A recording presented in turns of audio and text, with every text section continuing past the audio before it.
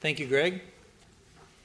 So I'm going to talk about the same topic, but from a slightly different perspective. So we've heard from Greg when we should do the genetic testing. Now I'm going to talk a little bit more in depth about some of the specific syndromes that he covered and what some of the features of those are.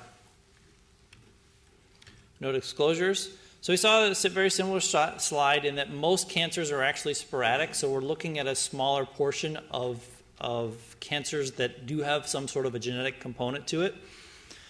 And I'll go through each one of these and what, what each one means. So just like Greg, I'm going to start with the two most common. So if you remember nothing else from these talk, remember these two because these are the two that you're more likely to see. Uh, and if, if you, I know there's some people in the audience that have yet to take their board certification exams, and so these tend to come up a lot on that as well. So let's start with HNPCC, or hereditary non-polyposis colon cancer. Uh, it does have an autosomal dominant inheritance pattern with a lifetime risk of about 80%. Uh, so even if you do inherit the gene, there's not 100% penetrance of the phenotype, even if you have the genotype. On average, these people develop cancer in their late 40s. And as Greg mentioned, it's due to a DNA mismatch repair genes, of which there are several, the most common of which being HMLH1, HMSH2, uh, and secondarily, you also see HMSH6, PMS2, and a few others. There are a few features that are tip-offs to the presence of HNPCC. Uh, in particular, if you see someone that has synchronous or metachronous tumors, that's a red flag. And these patients tend to have an adenocarcinoma sequence that can be faster than the typical 10 years that we see in sporadic colon cancers.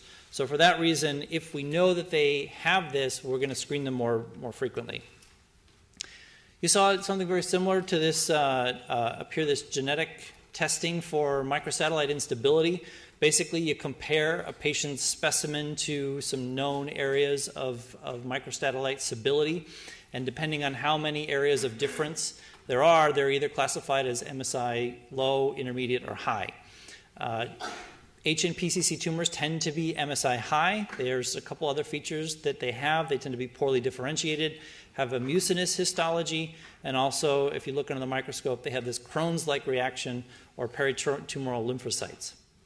There are a number of associated lymph, uh, malignancies that these patients are at risk for as well endometrial cancer, particularly if they have a mutation in HMSH6. Up to 70% of these patients can have endometrial cancer.